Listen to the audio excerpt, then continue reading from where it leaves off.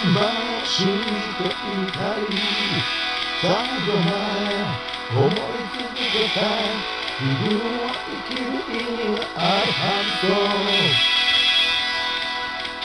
ただ誰かけてる足を明かされた日涙を流す痛みはあるのかい言いと言え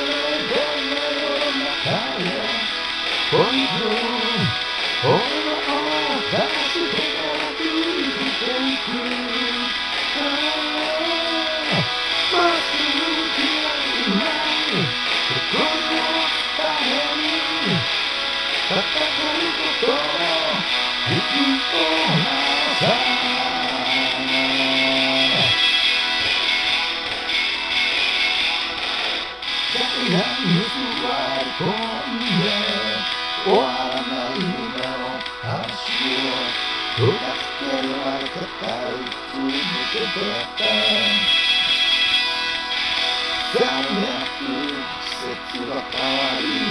苦しく視線を落とし目覚めることに慣れていくのか小さな夢を見えないどんなような風をなみ